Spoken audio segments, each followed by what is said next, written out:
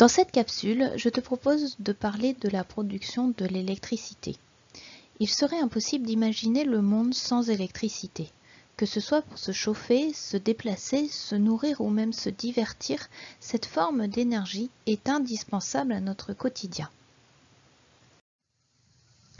Cependant, l'énergie électrique que nous utilisons n'est pas une source primaire.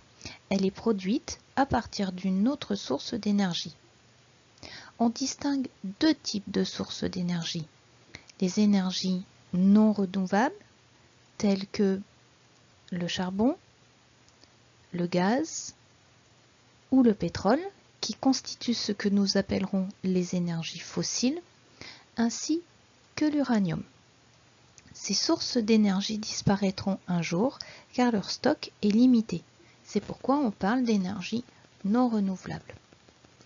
À cela s'opposent les énergies renouvelables, telles que le soleil, la force du vent, la biomasse constituée par les végétaux mais aussi les cadavres d'animaux, la géothermie et la force de l'eau.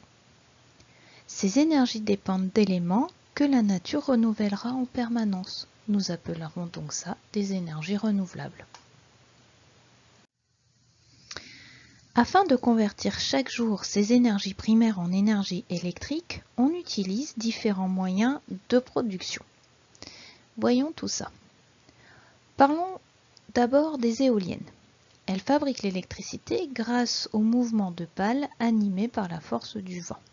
L'avantage de ces éoliennes, c'est qu'elles n'émettent pas de gaz à effet de serre et dépendent d'une énergie inépuisable et gratuite. Leur gros inconvénient, c'est qu'elles n'ont qu'un faible rendement.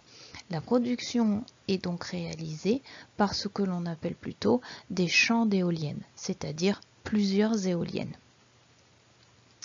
Le deuxième moyen que nous aborderons est la centrale nucléaire.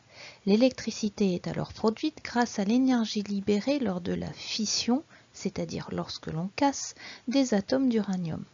L'avantage de ce type de centrale est qu'elle ne libère pas de gaz à effet de serre et qu'elle produise une très grande quantité d'électricité. Le gros point négatif est qu'elle génère des déchets radioactifs qui le resteront encore pendant plusieurs siècles et qui posent de vrais problèmes environnementaux. Le troisième moyen de production est la centrale hydraulique. L'électricité y est produite grâce au mouvement de l'eau. Les avantages, c'est qu'elles ne produisent pas de gaz à effet de serre et que la production peut être adaptée en fonction des besoins. Par contre, un des inconvénients, c'est qu'elles bouleversent parfois les milieux aquatiques. La centrale thermique, où l'électricité est produite grâce à la chaleur dégagée lors de la combustion d'une énergie fossile, je te rappelle pétrole, gaz ou charbon, ou encore de la biomasse. L'avantage est une production importante et rapide qui là aussi s'adapte aux besoins. Le point négatif est que ces centrales libèrent des gaz à effet de serre qui contribuent au réchauffement climatique. Les panneaux solaires. Ils permettent de convertir de l'énergie transportée par les rayons du soleil. L'avantage, c'est que cette source d'énergie est inépuisable et gratuite. L'inconvénient, c'est que l'installation est très coûteuse et les rendements peuvent être variables. Enfin, le dernier moyen est la géothermie. On utilise alors l'énergie contenue dans les sols grâce à leur chaleur. L'avantage, c'est que, encore une fois, cette énergie est inépuisable et gratuite.